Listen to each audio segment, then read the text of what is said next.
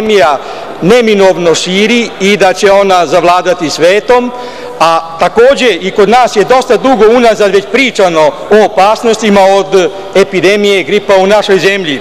Tako bi bio slobodan samo da vas podsjetim na izlaganje gospodina Kona, predsjednika Komisije za praćenje epidemije, koji je u članku u listu Blic lepo rekao epidemija je neizbežna, čak je bio slobodan da izjavi da će 2 miliona naših građana oboleti od ovog virusa. Ono što je druga stvar koju bih hteo da pojasnim je kontradiktorne informacije koje se pružaju javnosti od slučaja od baš od stručnjaka medicinskih koje su nedozvoljeni. Tako da vi imate danas situaciju da u Beogradu škole ne rade, u Novom Sadu dečije ustanove rade. Znači, u jednoj istoj zemlji, zahvaljujući ovako nejasnim informacijama, imate ovako različitu situaciju.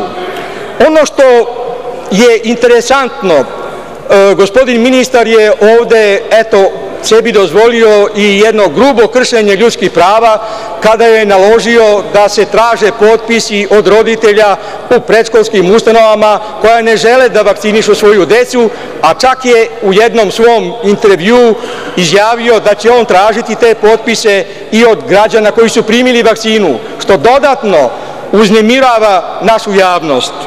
Ono što je nedozvoljeno da se uopšte ne pružaju adekvatne informacije od strane Komisije o vakcinama. Poznato je da je najbolja i najefikasnija mrtva split vakcina bez adjuvanasa.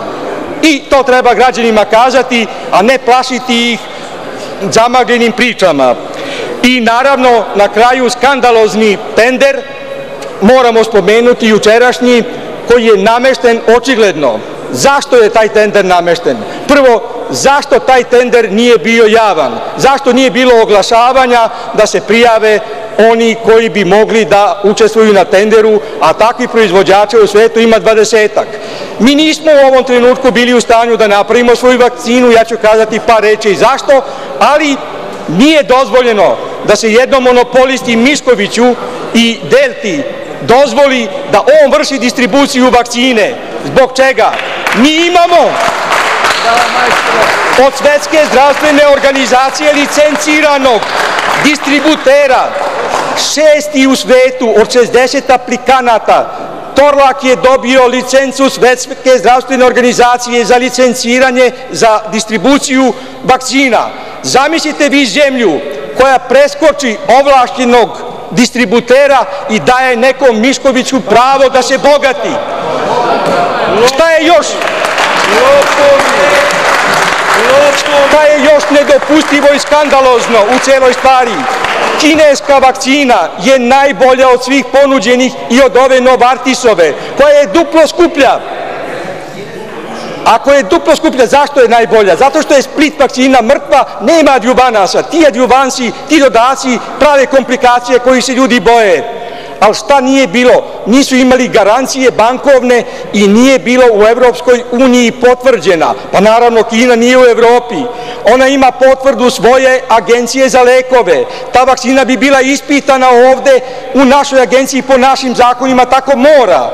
Prema tome, vlada mora da se izjasni ovo što ona radi, ovo je dodatno ugrožavanje biološkog integriteta nacije i ona mora da položi računa narodu narodu Srbije, a ne Skupštini za ovo što radi. Hvala vam.